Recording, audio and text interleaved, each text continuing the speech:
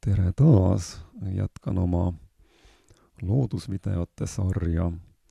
tänases osas on peaosas konnad. Eestis elab üksteist liiki kahepaikseid, nendest üheksa liiki kuulub päriskonnaliste seltsi. Need on järvekonn, kärnkonn, kõre, mudakonn, rabakonn, rohekärnkonn, rohukonn, tiigikonn ja veekonn ning kaks liiki kuulub sabakonnaliste seltsi. Need on tähnikvesilik ja harivesilik. täiskasvanud konnadel saba puudub, sabad on ainult vastsetel ehk kullestel. vesilikel säilib saba kogu elu. meil on siis olemas konnad ja sabakonnad.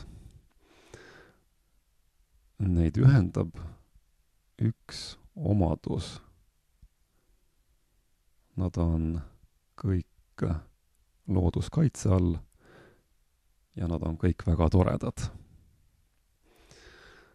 Konnad elavad niisketes paikades, niidul ja metsas mageveekogude ehk tiikide, järvede ja jõgede läheduses. kõigile kahepaiksetele on vesi väga oluline. niiskus mõjutab konnade käitumist. päikselise ilmaga on konnad varjus. Peale päikseloojangut või vihmase ilmaga lähevad konnad liikvele toitu hankima. konnade toidulaud koosneb peamiselt putukatest, sääskedest, kärbestest, ämblikest, aga ka tigudest. saaki jahitakse luurates, ühel kohal istudes. söögi püüdmisel on väga oluline osa nägemisel. konnad püüavad liikuvat saaki, mida nad oma suurte silmadega märkavad.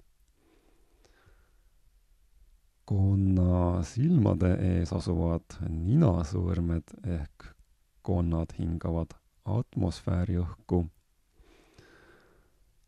konn võib ennast vette peita, sellisel juhul jäävad näha ainult silmad ja ninasõõrmed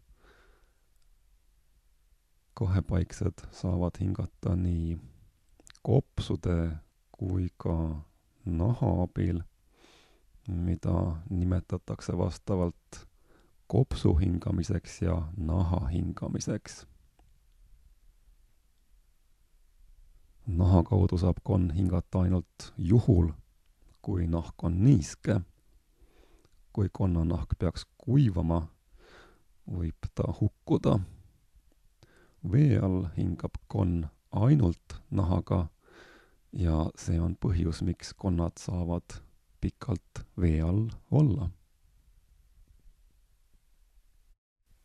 kuigi konnal puudub kael, on ta võimeline oma pead liigutama. jäsemete lihased on konnal väga hästi arenenud, eriti hästi on arenenud tagajalad konnad on võimelised tegema keerukaid liigutusi ja tänu tugevatele jalgadele sooritama väga pikki hüppeid. eesjalgade abil hoiab konn ära ninali kukkumise. Konn ujub tagajalgu sirutades ja kõverdades.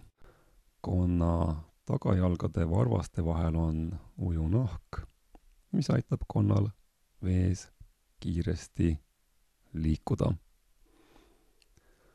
konnad talvituvad veekogude põhjas või peituvad kivihunnikute vahele, urgudesse, aukudesse, puulehtede all maasse kaevunult. kevadiste soojemate ilmade saabudes ärkavad kahepaiksed talveunest, algab konnaränne. konnad pöörduvad paljunemise ajaks alati tagasi oma sünnipaika, kohta, kus nad ise konnakudust koorusid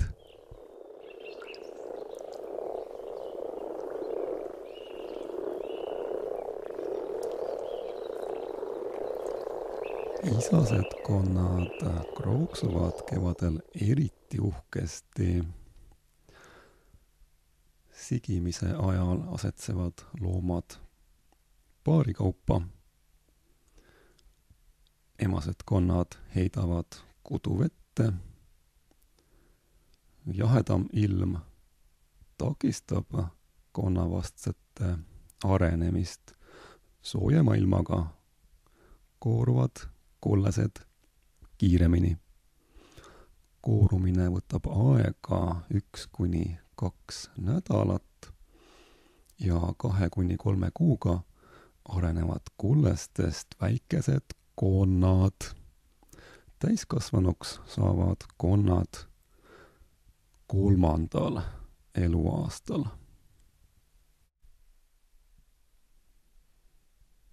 siin on näha üks vesilik tema on ka konn, sabaga konn siis. minu tuttavad vesilikud elavad linnas, veekogu lähedal ja talvituvad peamiselt eramajade vundamentide ja müüride vahel.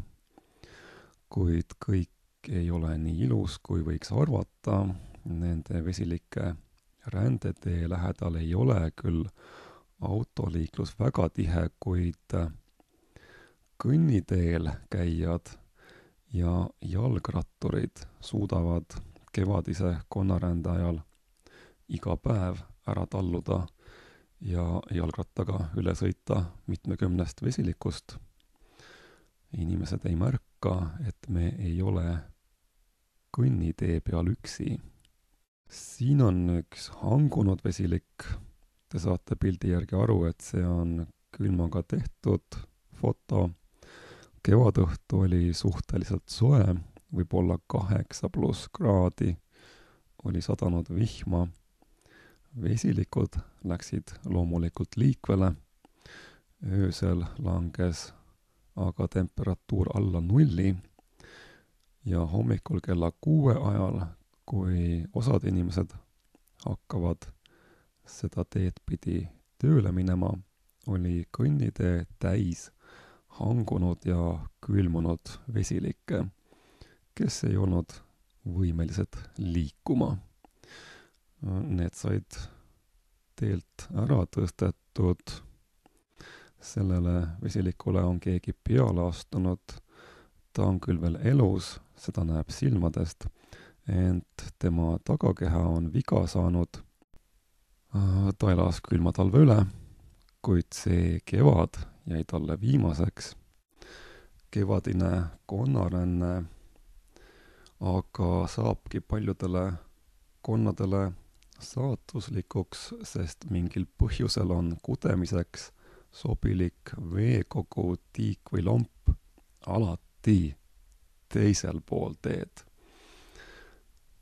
nii Eestis kui ka mujal maailmas korraldatakse kevaditi konnatalgusid konnarände ajal aidatakse konnad suuremates teadaolevates rändekohtades üle maantee. konnad lähevad teatud ajal kevadel massiliselt liikvele, enamasti toimub see õhtusel ja öisel ajal. autojuhid ei märka seda. meeles tuleb pidada, et autoteedel toimetamine on ohtlik konni tuleb päästa läbimõeldult. kellel selline huvi on, mina soovitan ühendust võtta Eestimaa Looduse Fondiga. talgute ajaks pannakse vastavale teelõigule välja märgid, hoiatused, liiklust reguleeritakse. ei ole vaja, et inimesed konni päästes viga saavad, nii nagu me ei täida rumalat käsku või ebaseaduslikku korraldust tuleb meil, inimestel, kõike siiski teha mõistusega. ja kasuks tuleb kriitiline mõtlemine, seda ka konnade aitamisel, muust rääkimata, eks ole. muuseas, kahepaiksete üle tee aitamisel tuleb arvesse võtta alati seda, kuhu konn või vesilik ise jõuda tahab. kui te viite ta valele poole teed, siis on ta vähe aja pärast tee peal tagasi. ja võiks veel mainida kahepaiksete kasulikkust.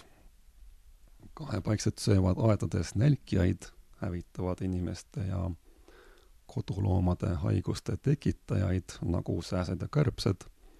seega on nad meile väga kasulikud loomad. kahepaiksed on puhta looduse tunnus. kus elab konn või vesilik, on loodusega tõenäoliselt kõik hästi.